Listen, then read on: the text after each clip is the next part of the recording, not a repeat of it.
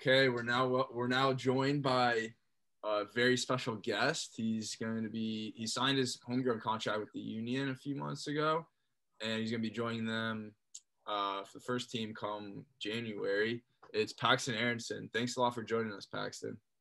Yeah, no problem. Thank you for having me on.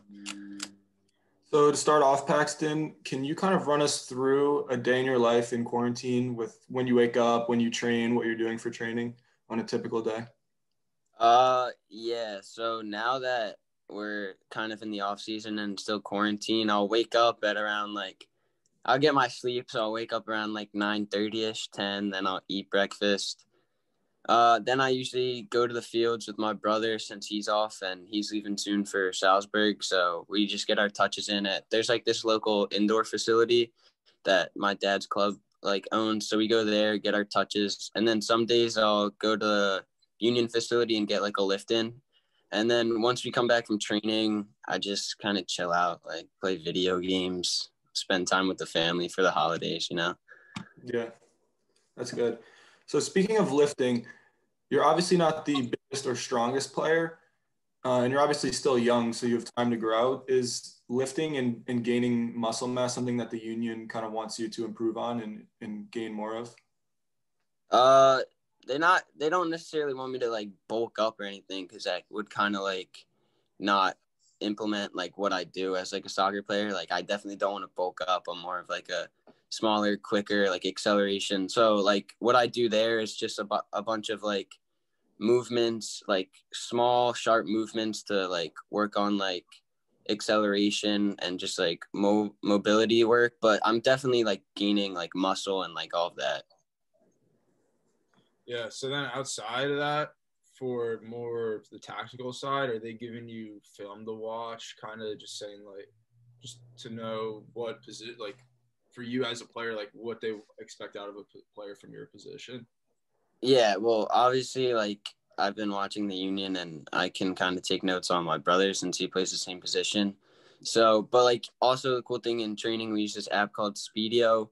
If like I do a clip in first team training that's like good or bad, they have like an iPad and they'll just pull me aside after the drill and they'll show me like what I did good here or like the run I could have made better. So they kind of show me on the field. So during the next drill or next game, I can like get it better. And after each training, they record it. So they like tag you and all your touches are on that. So they'll just tell me to go back, watch like a certain minute. Are you watching your film after every single training session? Yeah, I definitely watch my clips just because I you can learn so much off film. Just you see it from like an aerial view, like where you could have ran into, what space was available, all that. Yeah, it's crazy the technology that's available now. Yeah, it's awesome. It's definitely like such a bigger. Uh, did I? Am I losing you? Uh, your, your your audio is there, but the picture is going out. But you're Uh, but yeah, it's definitely like awesome and a big advantage, for sure. It helps so. much. oh, now you're muted and your picture went out. You got me now. All good, yeah. So- What does a, a typical training session with you and your brother look like during quarantine? What are you guys working on? Uh, mostly it's just technical, just because like the indoor facility is not as big, but we just like we always do one v one at the end of every session. It's one one right now, but we do a lot of technical like one touch. We have like mini goals that we do passing, just all clean like technical abilities. And then once, well, it's like snowing here, so once the outdoor fields are like able to play on, we usually just go and do finishing. And what do one v ones look like for you guys? Are you just doing one v one small sided to goal? Yeah, we have like mini goals and we just do one v ones, like smaller confined area just for like footwork and stuff, and then also like the defensive side of things. So were you training with, or no? You say you were lifting today. then? Yeah, today I went to the annex. That's why it took me a while to get home. Oh, yeah. No worries. So how far how far away do you live from the Union training facility? Honestly, like when I was younger, I used to go up to like the academy, which is based in King of Prussia, and that was like far. I was like hour and fifteen every day. That was like a travel, and then the Union facility, which is in like Chester, it's right across the bridge from Jersey, so it's not that bad. I can get there in like forty minutes. It's definitely a better drive. You live in Jersey though, right? Not Yeah, I'm in Medford, New Jersey. It's like South Jersey. Yeah, you must have been happy when the Union made the the training move from YSC over to to Chester. Yeah, definitely. It helped me in my ride situation. And I just got my license, so I can I don't have to feel bad that my parents have to drive me. But my brother drove me. But they my parents drove me so much when I was younger. Yeah. Yeah, I remember I did Union Juniors. Um, I was Brenden. I'm a 2000, so I did it with Brenden. Yeah. I think you hopped in once or twice with us. So you, what are you? You're like three or four years younger. I remember you hopped. in. Yeah. I'm a 03, so like yeah, three years Okay. younger. Yeah. That's funny. That's funny. I remember that was pretty because that was in King of Prussia too. That was pretty far from us too. Like just driving. Yeah. Yeah, King of Prussia was a hike. But it's like a nice location they have around that, like with the mall, and they built like a bunch of like shopping plazas and all that. Yeah. But Something they don't have in Chester down there. ton, ton of Definitely not. traffic though in that area. Like if you get Yeah, there's a ton. Yeah, it gets chaotic. that's like probably I hate sitting just in traffic like that. Like I know. It's horrible. Um so with you joining the first team now, who have obviously like your brothers was on there, but like have any other players reached out to you kind of like to welcome you onto the team? Yeah, the team's like super cool. Like they're all great guys and they're welcoming to the youth just because like that's what Philadelphia Union have kind of implemented, like just homegrowns. So they kind of like welcome you into open arms and the team's like great. But I've been hanging out with most of like the homegrowns, of course, just because they're similar to my age. Yeah. Is anyone else? Any other 03s have signed homegrown contracts? Uh, Jack McGlynn, he signed, um, like kind of similar to me, like around the same time, but he's only o3 that signed along with me. Nice. So when So- your official like have you trained with the first team at all yet? Like when do you officially like in, be implemented into the team? Yeah, so I trained with them when I got back from Germany, which was like I left like October 15th and went to train with Werder Bremen. And then I was supposed to go to Hoffenheim, but Europe went into lockdown and they're still in lockdown. So I came home early just because I didn't really want to get stuck in that. And so I came home early from that. And then I started training with first team all the way up until they lost in playoffs. So yeah, I got to train with first team until playoffs until the end of the season, basically. And what was that experience like for you? How did you feel like you you did in that in that setting? Uh, I thought I played well. It was like I was obviously a little nervous going into it, just because like I wanted to make like an impact and I wanted to start off on the right foot. But the pace and like just everyone being so like physical and like stronger, you definitely have to like learn and adapt quickly. But I thought it was good, and it's definitely going to be good next year. hmm So yeah, from your short time then, like uh, previously, like what is something you think that you need to work on to have the most success at that level? Uh, probably just picking the ball up in good spots in the final third and finishing like every chance I get because like you see in like the bigger games all across the world, like people get limited chances and you just need to make the most of like each chance. So if you can finish the slim chances you get, that's what kind of separates the goal scorers from the medium non-goal scorers, you know? Definitely. So you mentioned before that the, the union is like very welcoming to, to young players. What do you think is so special about the Union Academy that they've been able to bring in players through their system?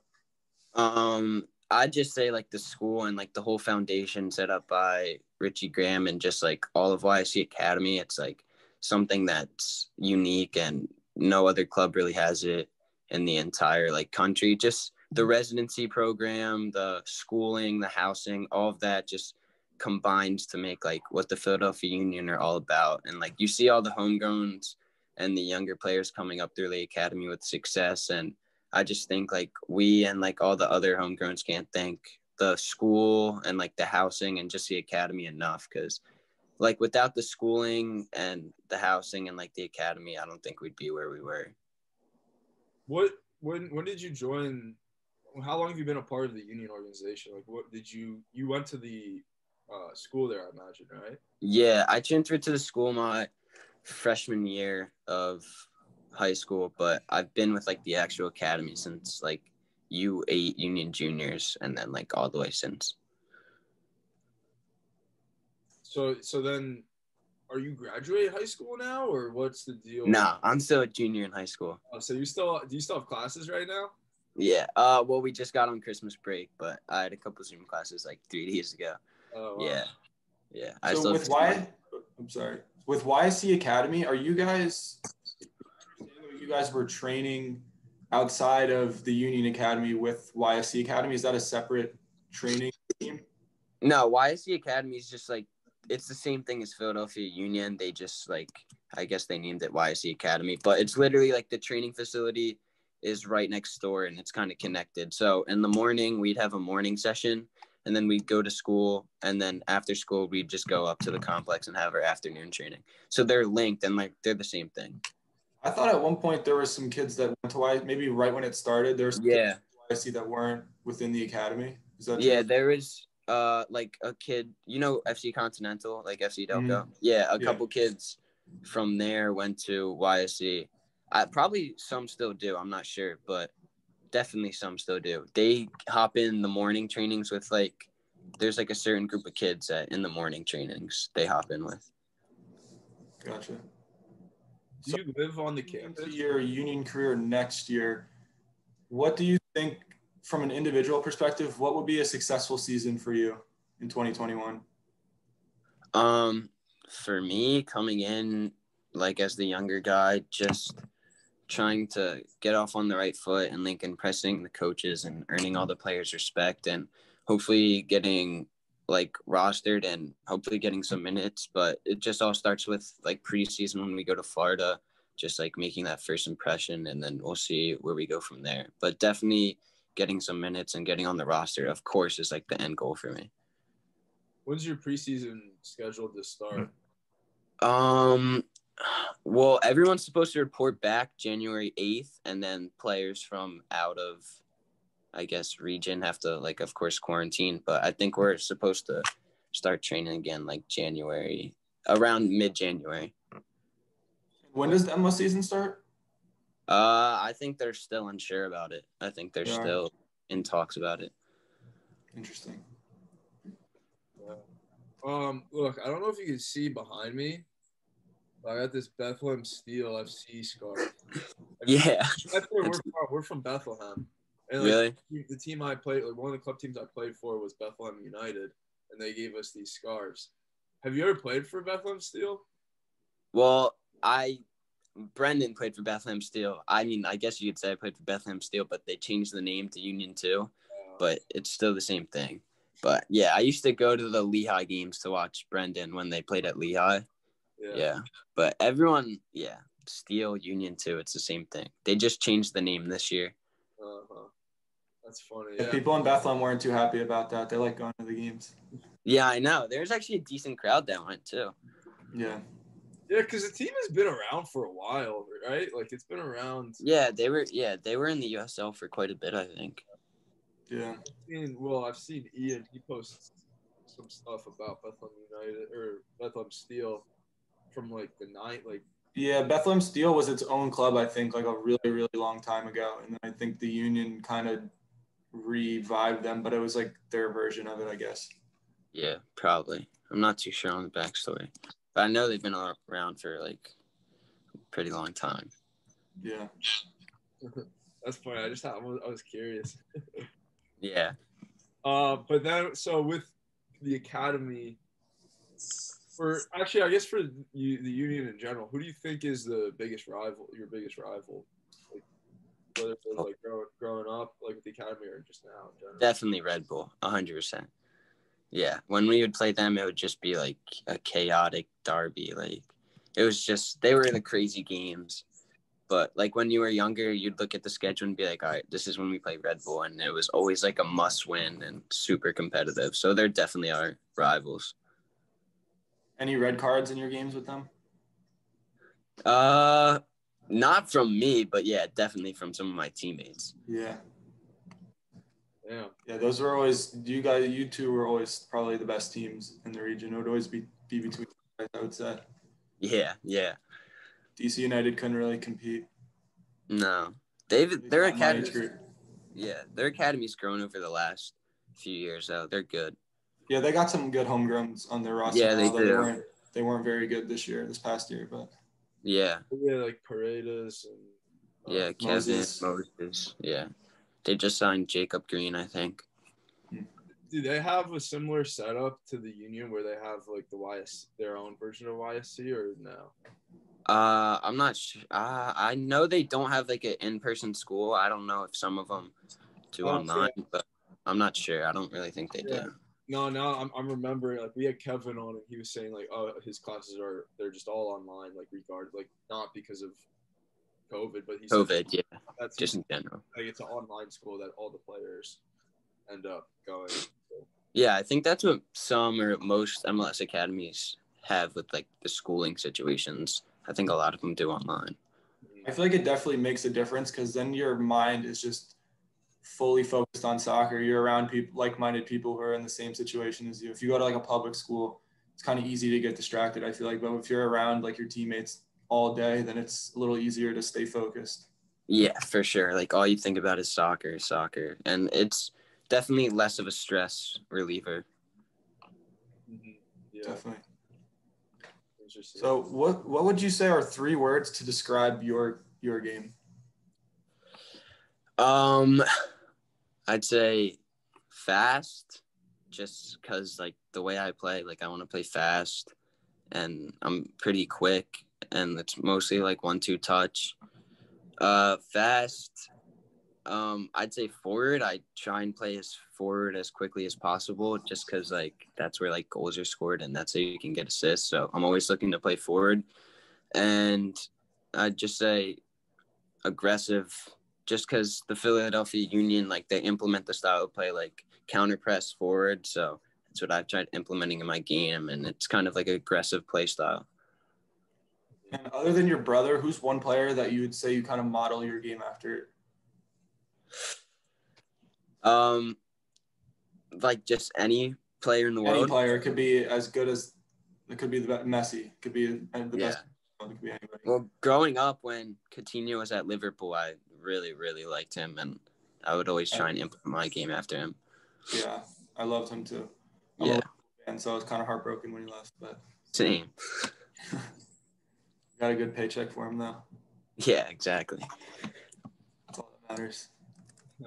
So as as uh you play like center mid, like a center attacking mid role, do you do you uh which do you kind of prefer to did you prefer more to score goals or to set them up and get assists?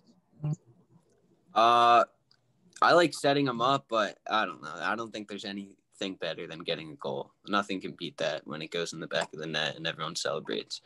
But it's also satisfying when you slip a nice ball in and they finish. But definitely, I think scoring goals. What would you say is more prevalent in your game, assisting or scoring? What do I do more of? I Yeah. think I assist, but as the 10 role, I mean, assisting and scoring and the 10 role, you need to do both. But I think for me, I definitely make more assists, but I'm definitely trying to implement more goals just because as the 10, you need to do both. Mhm. Yeah. Yeah.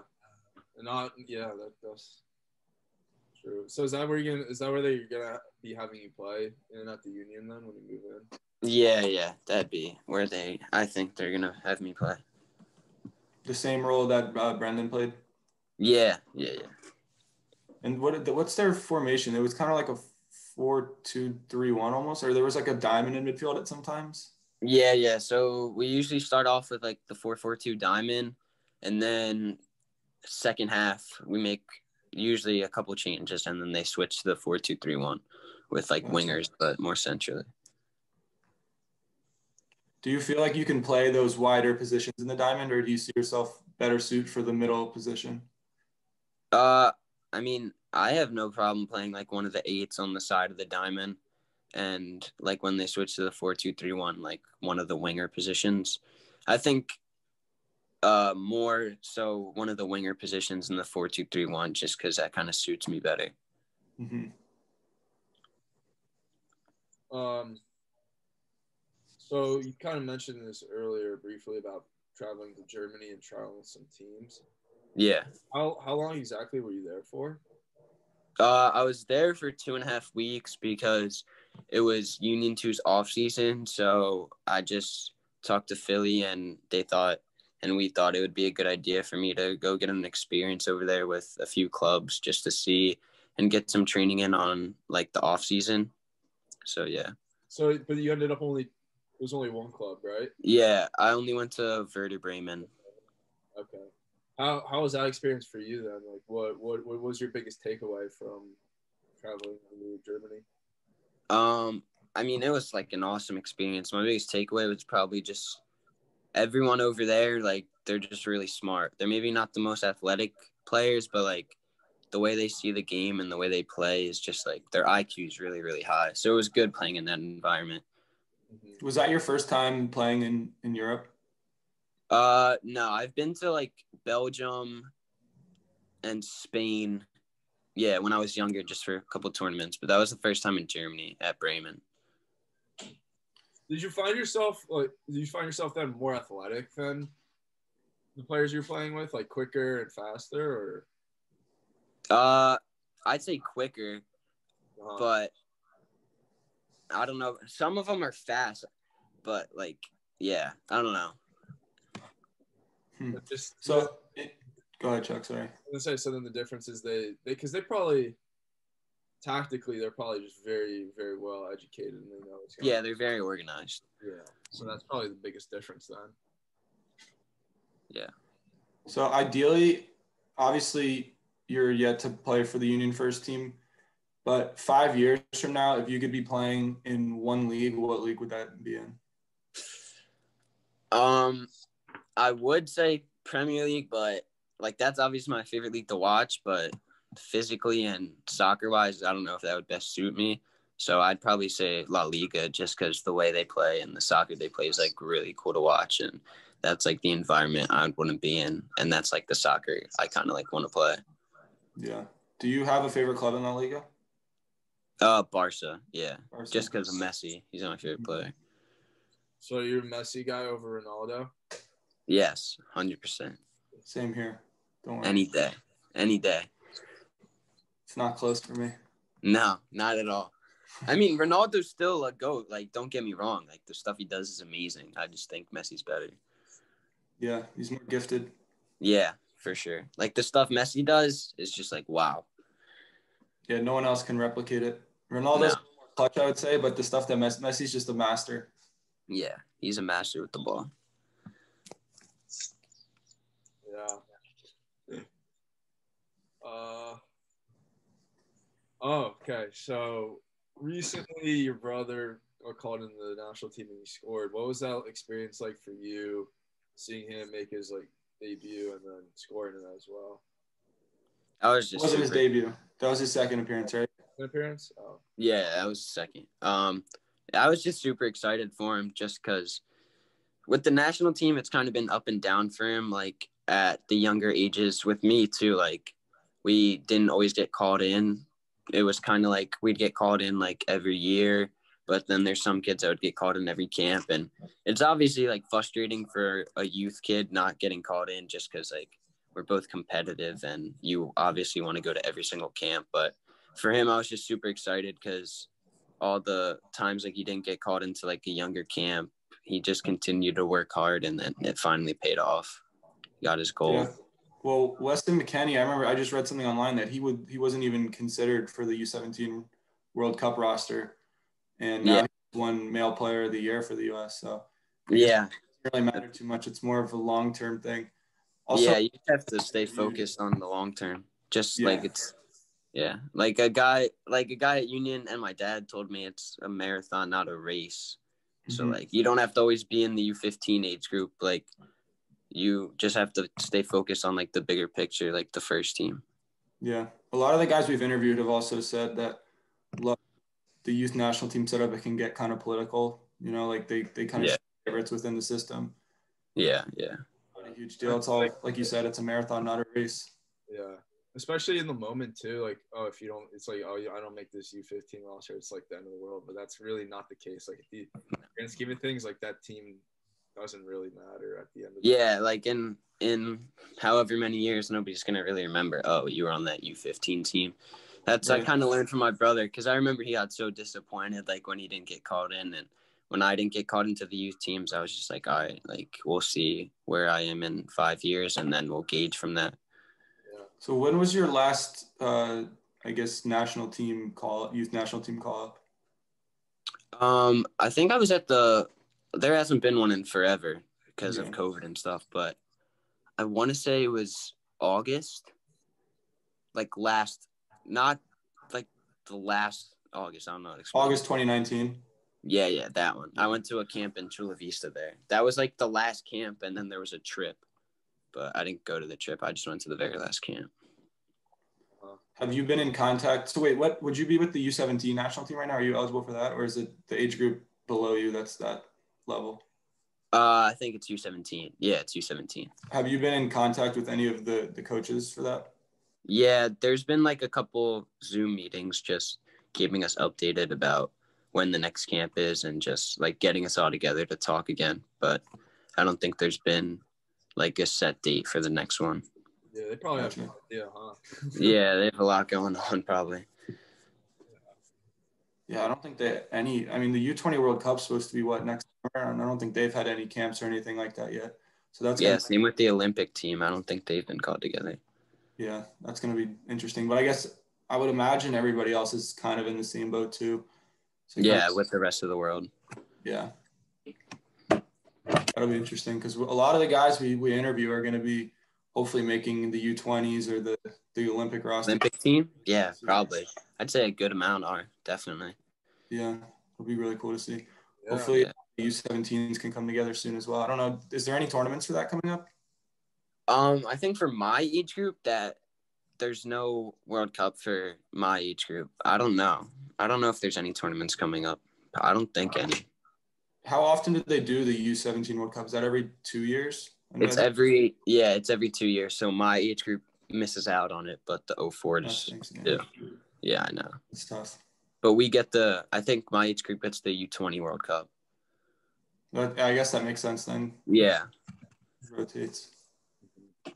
So is there anybody who anybody who you played with like on the whether it be the U.S. national youth national team or with the Union, like who's a kind of a young player that you think is going to be really good like this coming like who's going to have like a breakout year? You think? Um Well, Other you've than seen- yourself. Yeah.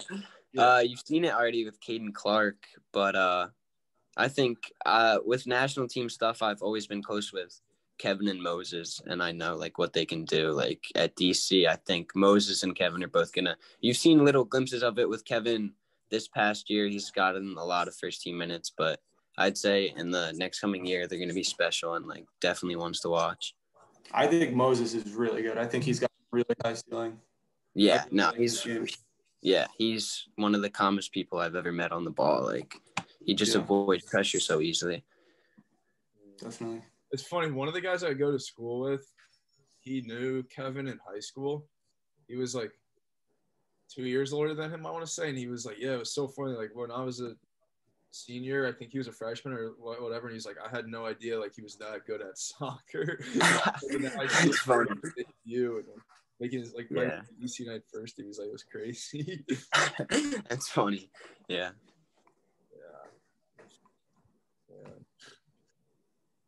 Um. Will, what else? You got anything else? Uh, I think that's it for me, unless you have any other final questions. Um. Do you have a teammate like with the Union now that you're really excited to play with?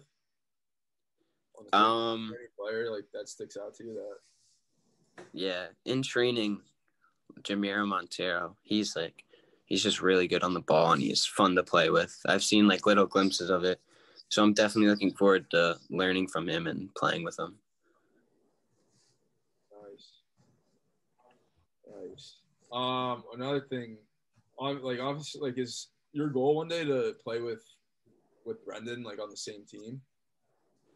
Um, I think I mean eventually, it yeah, it obviously be cool like to play with them, the two brothers. But like, I'm not gonna like go out of my way to go to the same team as him. You know what I mean? Yeah. I just think like we both have different paths, and he goes on his, and I go on mine. And if somehow we end up meeting at the same team, then like, yeah, awesome, that'd be cool.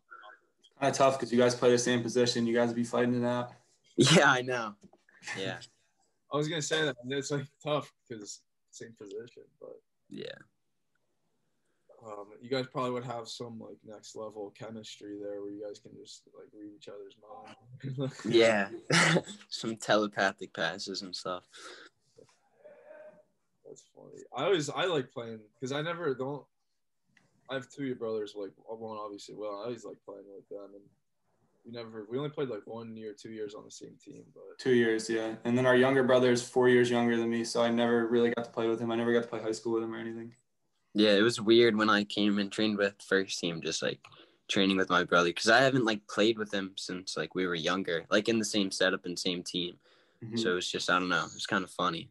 yeah, this summer we played. We all played together. We played every every day. Like we played pickup every single day. Um, just like what like sixty six ish. Yeah, And so it was a lot of fun just playing with them. yeah. felt like some of the best time, like best games we had when was when the three of us were all on the same team. it's funny.